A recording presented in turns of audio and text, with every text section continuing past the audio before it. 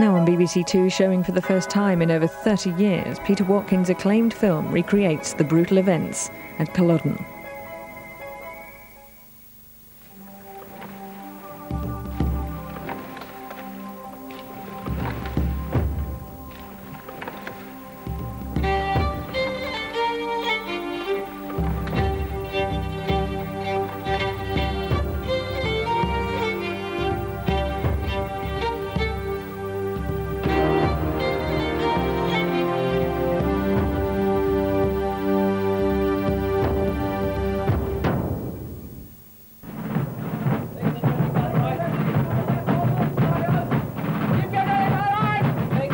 Wednesday, April 16th, 1746. This is the advance battalion of an English government army of 9,000 men. Their objective, Culloden Moor, four and a half miles southeast of the Highland town of Inverness. Their purpose, the destruction of the Highland Jacobite Army of Rebellion, a tired, ill-administered force of less than 5,000 men who wait just beyond the top of this ridge. Sir Thomas Sheridan, Jacobite military secretary, suffering advanced debility and loss of memory. Former military engagement 56 years ago. Sir John MacDonald, Jacobite captain of cavalry, aged, frequently intoxicated, described as a man of the most limited capacities. John William O'Sullivan, Jacobite quartermaster general, described as an Irishman whose vanity is superseded only by his lack of wisdom. Prince Charles Edward Stuart, Jacobite Commander-in-Chief, former military experience, 10 days attendance at a siege at the age of 13. You must understand, without putting too fine a point on it, that the army here is in a total shambles. I've got half my company missing. I just can't find them. They've gone off somewhere to sleep. Your Royal Highness, why exactly are Mr. Sheridan, Sir John MacDonald, and Mr. O'Sullivan handling the administration of your army? Because I chose them. Because I consider those gentlemen to be utterly trustworthy and competent. The first thing my men will find when they do awake is the enemy on them, cutting their throats.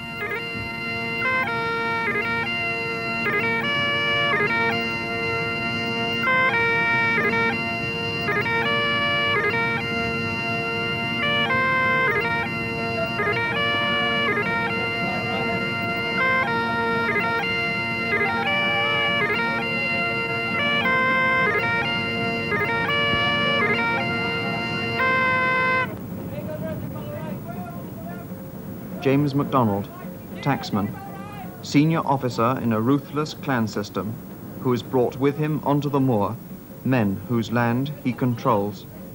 Alistair MacWurrich, subtenant of a taxman, owns one-eighth of an acre of soggy ground and two cows. Alan McColl, subtenant of a subtenant, owns half share in a small potato patch measuring 30 feet. Angus MacDonald, servant of a subtenant, he owns nothing. Lowest in the clan structure, he is called a cotter. This man is totally dependent on the men above him in the clan system. They in their turn on the taxman, they in their turn on this one man, the man who has brought them all onto the moor. Alexander MacDonald, called in Gaelic Machichur, chief of the MacDonalds of Keppoch. The owner of all his tenants' land, the rent he has charged them, is to fight with him as clan warriors whenever he decrees. This is the system of the Highland clan. Human rent. I hold my land from Macruachan as my father did, by bringing him 20 fighting men from amongst my tenants. These I have brought. To this man, who is rent, today's battle is a matter of honor. Uh, A Mrs. Sabatin Jew, Tean agus gofuir mu ga vis ná anna sapéidir tú mu mach i gráid agus a bharachar sin go a hapatí aharsan is tú maharsa. I fight today because it is an honor to be with my chief Machgich Grün and because my father fought beside his father. To this man, who is Rent, the battle is a matter of revenge. Ba mis sapet de taisiach de bhaach i cruil, nóan de healach, san nóan de caiimblach cean go dúit mar chrá, con de manéitin. I fight first for Machgich Grün, then for Charlie, then because the Campbells who did steal my cows are with the enemy. I have also raised over a hundred men from Rannoch. Some were unwilling. With these I used force. Alistair MacWurrick, told by his taxman that if he did not fight, he would have his cattle taken and his roof burnt. This is the system of the clan. A system that has brought onto the moor over 4,000 men. Men from Argyll and Inverness, from Moidart, Appin and the Isles, Catholics, Episcopalians, Presbyterians, the MacDonalds, the MacLeans, the Chisholms, the Camerons, the Farquharsons, the Frasers, men of 14 major Highland clans.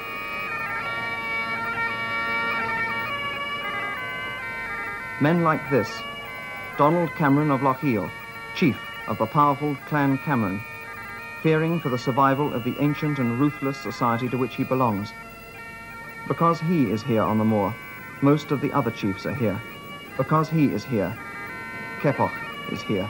Because I feel that the act of union with England is a betrayal. Because Prince Charles is a Catholic, and I am a Catholic, and the King in London a Protestant. Because Charles is part Scot, and I am a Scot, the King in London is a German. Prince Charles Edward Stuart, the centre of all these men's hopes, himself half Polish.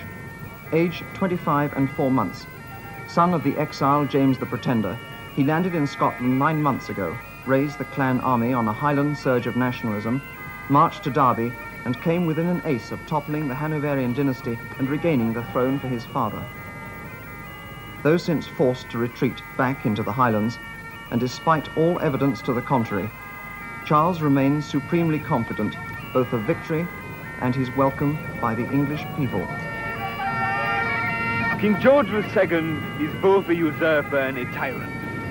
He's kept my father's crown by sla all the people of his island.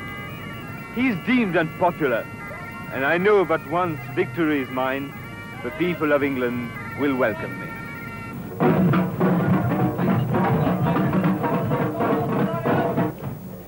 Lord George Murray, age 51, Lieutenant General in the Clan Army.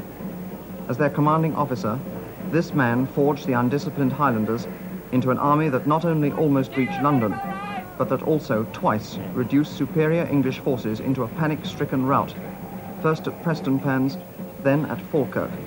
Blunt, imperious, this man has bitterly quarrelled with Charles over the chaos in the army administration and over the choice of this battlefield. Chosen by John William O'Sullivan. Flat, treeless, devoid of shelter, ideal for the employment by the British Army of its cannon and cavalry. And from behind the shelter of these walls, which O'Sullivan has refused to pull down, Lord George Murray also fears both crossfire and outflanking